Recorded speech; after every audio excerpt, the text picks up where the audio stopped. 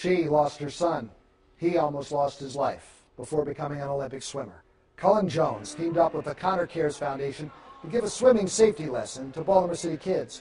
Back in 2008, Jones became the second African American in history to win an Olympic gold medal in swimming. He almost drowned at the age of five, so now he's helping kids stay safe in the water.